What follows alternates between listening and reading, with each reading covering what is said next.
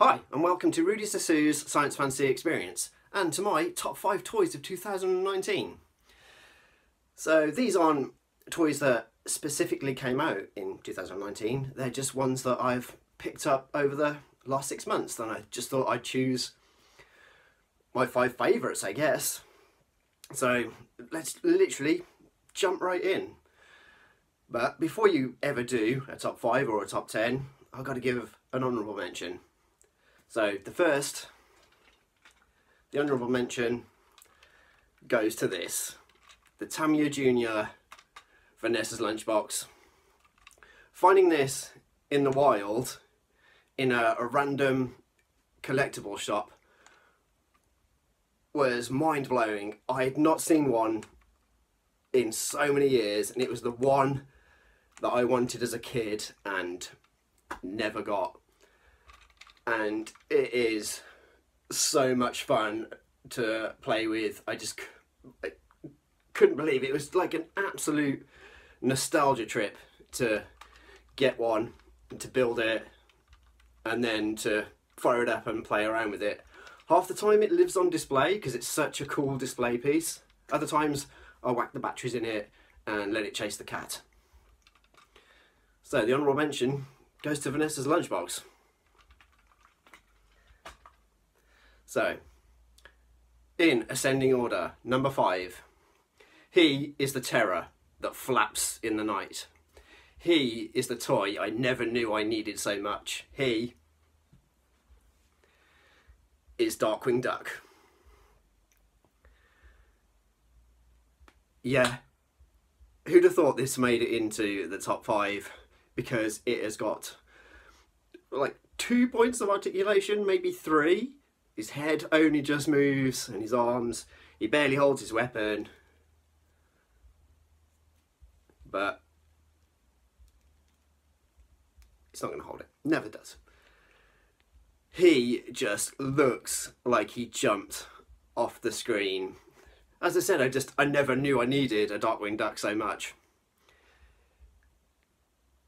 And for the cheap price of 10 quid, it's incredible fun. It's just, it's such a cool display piece, and especially where Darkwing Duck is my favourite Disney cartoon of that kind of period from the late 80s, early 90s. I'm just so happy to have one. Darkwing Duck in at five. So, number four. I'm pretty shocked that this actually made it into the top five when I was choosing what to go in, it kind of I looked at it and then just thought, yeah, this has got to go in because it's Frankenstein. It is the NECA T800 from Terminator 2, but that is not the head that it comes with. And the fact that I won it on eBay and nobody bid on it, I just couldn't believe it. So I ended up getting it for like £12. I don't always mention prices, but when something is a tenner and something is 12 quid, I, I want to kind of like be like, yeah, look what I got. Because you can find deals when you go on the toy hunt, whether it's in the wild or online. You've just got to persist. And for me, it really is a beautiful version of Arnie and the T800.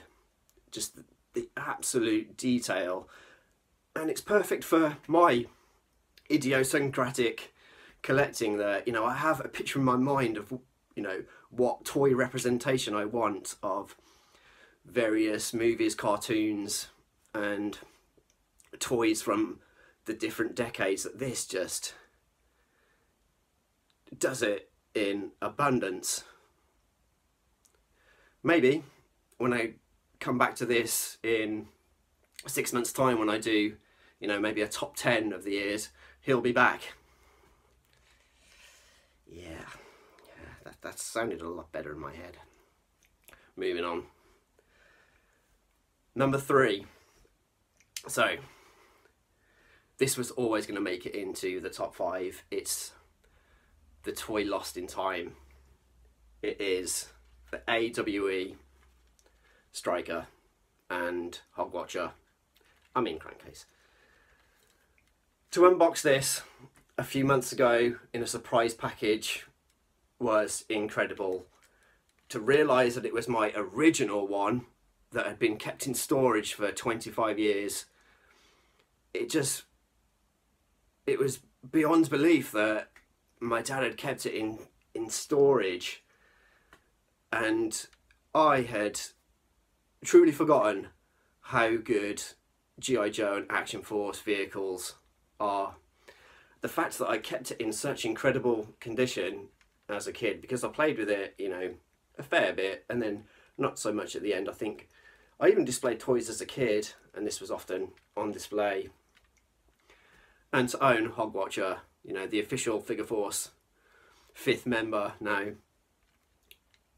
I just, I get a bit speechless looking at it. It just, it's a real piece from my childhood and I don't have many left because I donated a lot of them. So to own my very first Action Force toy again makes it such a great addition and that's why it's number three in the top five. So, number two. Let's crocus some toads. That would be the Boss Fight Studios Bucky O'Hare Toad Soldier. This is incredible. I've just, I did a video of this two weeks ago. Because, you know, I kind of, I bought it on a, on a whim. I just, I wanted to get a new action figure and I just kind of stumbled across it. And I had no knowledge really of, of Boss Fight Studios. And then when I realised that you could take it out of the package and keep it either in or out, I was just, I was mind blown all I've done for the past like week is put into the and out of the package because I just can't decide how I want to display it because it looks great in package. Because it, it's a card back that just looks like it stepped out of you know 1992 and then the figure the figure just is absolutely phenomenal. It's just how well action figures can be made is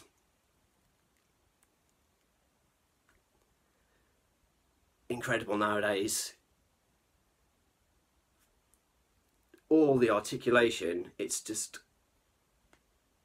so, so good. And the colours really, really pop. And it's just, I wanted a representation of Bucky O'Hare that wasn't either Deadeye or Bucky himself. So I'm just great to, you know, to have a bad guy, a goon, some laser fodder. So yeah, number two the Toad Soldier from Bucky O'Hare. And then finally, number one.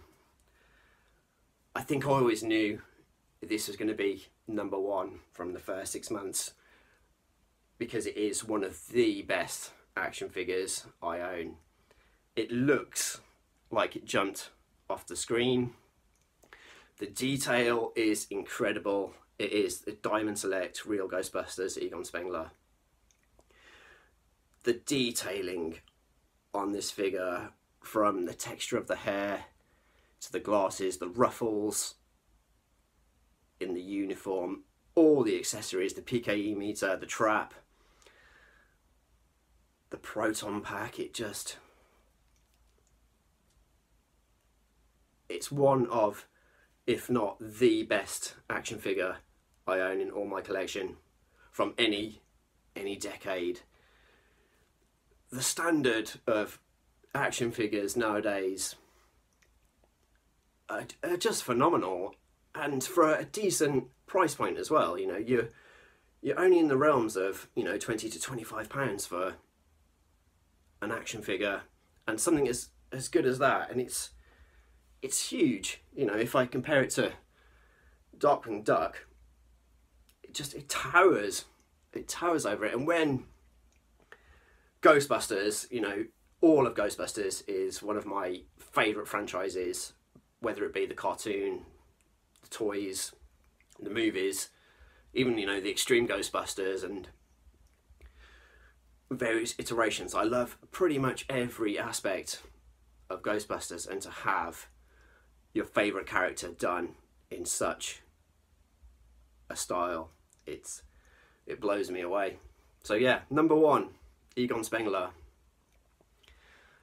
How many of these will make it to the end of the year when I do another top five of 2019? Who knows? There's always loads of stuff coming out, and there's always vintage pieces I want to pick up. Who knows what will be in the top five? May the toy hunt continue. Thanks for watching. Bye.